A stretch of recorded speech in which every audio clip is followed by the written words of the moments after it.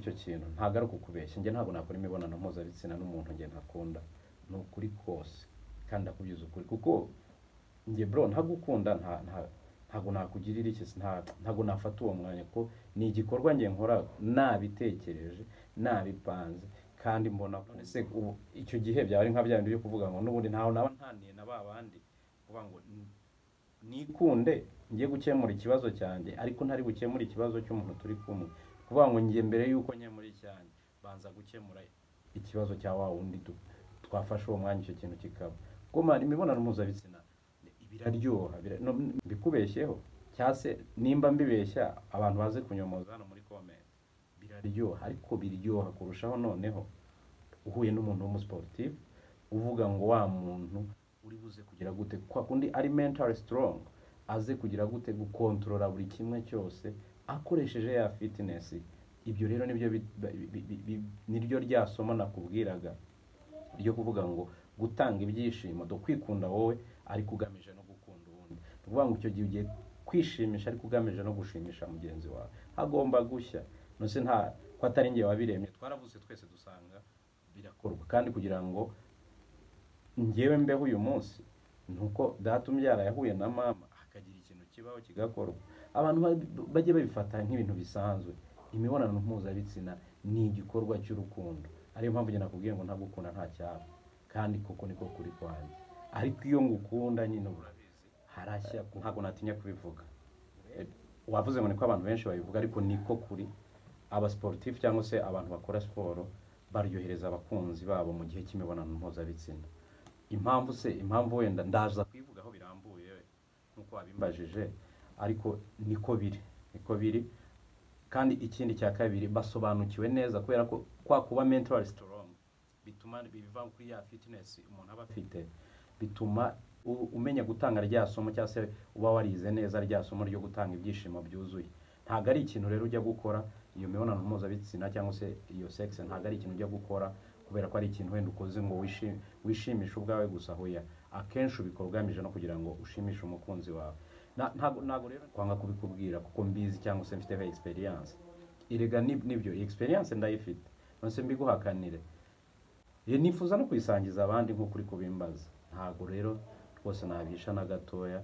Eh, ni- ni- ni cyo cya kintu rero wumva nyine umuntu wese ashobora kuvuga ngo wawe ni gukundana n'umusiporutifu koko bya bintu ni sawa. Kuko iyo bigeze muri icyo gikorwa cy'abashakanye reka mbivuge gutyo cyangwa se wenda abakundana aguha ibyishimo byuzuye kubera iki? Kuko we abikora agam- atagamije ngo we yishimishe cyangwa se arangize bezuweze ahubwo atekereza no kuri bezuwe zawe inshuti z'imana ndabashuhuje ni coach maître jador nk'ibisanzwe. Uyu munsi rero nje ngo tuganire amagambo meza ashobora kubaka abantu benshi abantu benshi munkurikirana hano kuri youtube channel.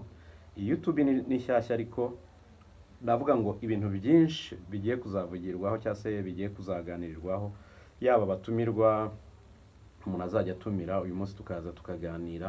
Ndashaka ko tuzajya tuganira ku bintu byo mu buzima busanzwe ariko ibintu by'ingenzi. Uyu munsi rero content cyangwa se navuga ngo ingingo nyamukuru mbazaniye uyu munsi ni ikintu cyo kuvuga ngo twige kwikunda no kwiyitaho. Kwikunda kwiza ni ukwikunda ariko gutanga gukunda abandi. Kwikunda kwiza reka mbisubiremo ni ukwikunda gutanga kwikunda wowe ubwawe ariko ugamije no gukunda abandi. Mu bandi rero harimo mugenzi wawe mwashakanye do umusheri wawe harimo uwo mukundana girlfriend and boyfriend harimo undi muntu mukorana cyangwa se the workmate wawe ni ukuvuga ngo hakabamo uwo mwigana hakabamo abantu muri rusange duhura nabo buri munsi. Buriya si itegeko ko hari harimo uzabimbwira mubwire ngo uyu munsi si itegeko ko wakunda umuntu runaka. Ariko nshuti yanjye gukunda ni, mugenzi w'imana kuko ijambo ry'imana yaba korowani cyangwa se bibiliya bivuga ko ngo urukundo ni imana.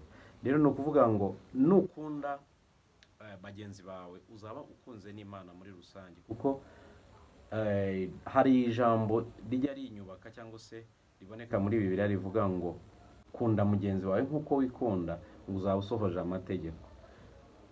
Ibindi byose wabikora ndetse bikagenda neza bikaba na byiza gusumba. Ariko nubura urukundo nshuti yanjye naho ubwawe uzaba wibuze.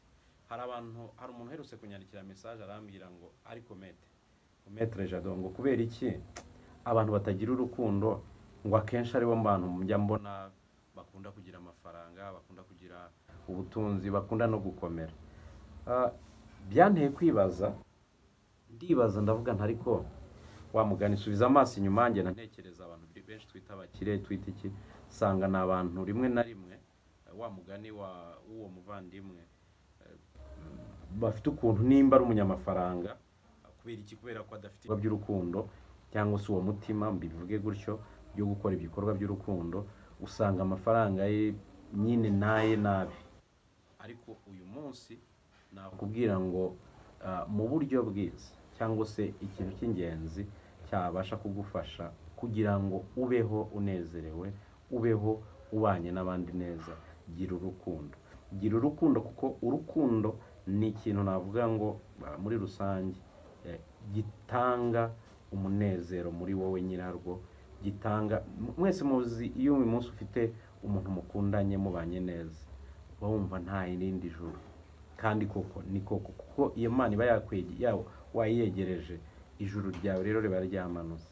Navuga ngo uyu munsi rero kwikunda gutanga gukunda abandi ndagira ngo icyo kintu tucyadoburinge mu buzima bwacu bwa buri munsi. Kwikunda gutanga no gukunda abandi.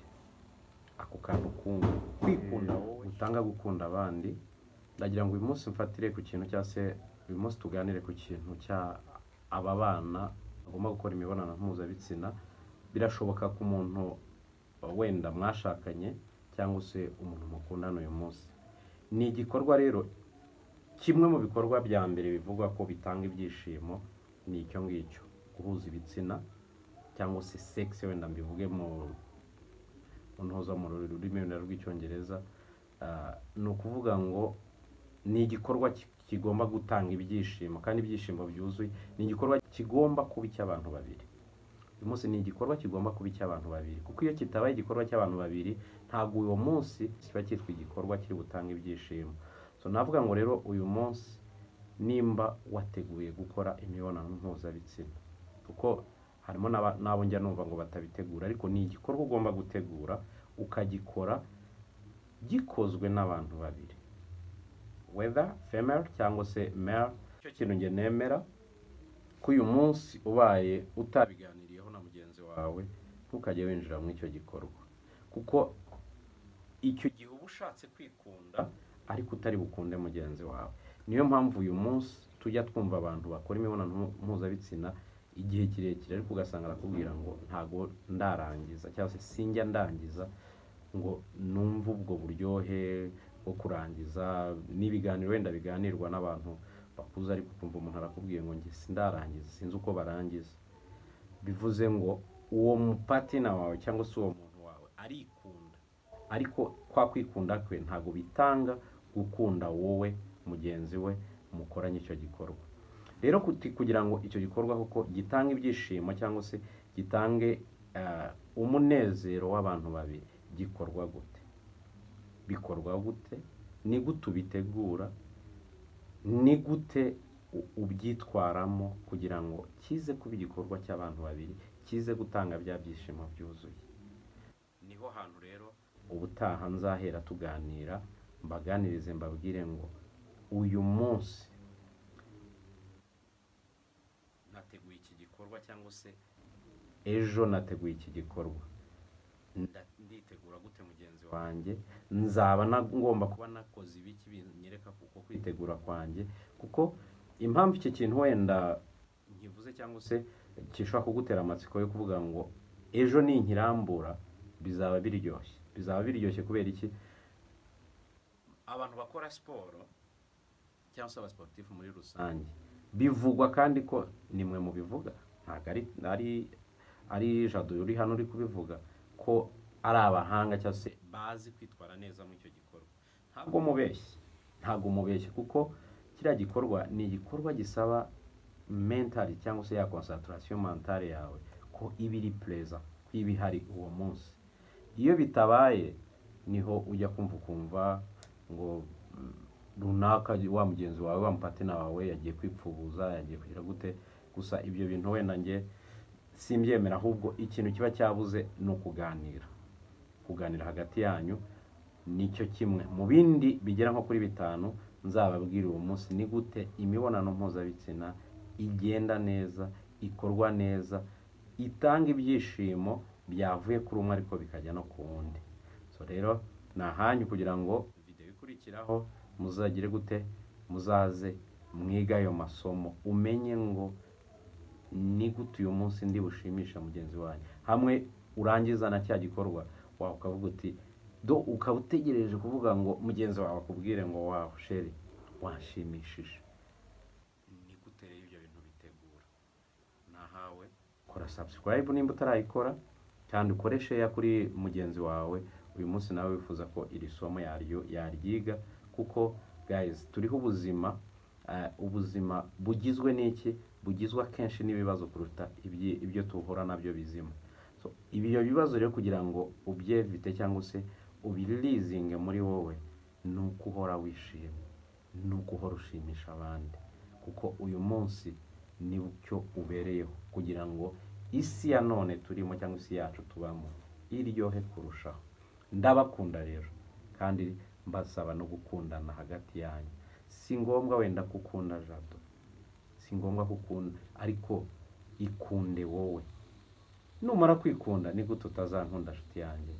Ndabakunda cyane. Imana ibaha umugisha. Mukore subscribe kuri iyi youtube channel. Usharinge video nimba wumvise hari akantu kakuryoheye. Ariko ejo byo noneho hazashya. Nibinaba byiza ushobora kugira gute? Oya ubukurikira ni bwo nzazana umutumirwa eh, ni umuntu mwese mumenyereye tuganire ku iyo ngingo. Tutanga rero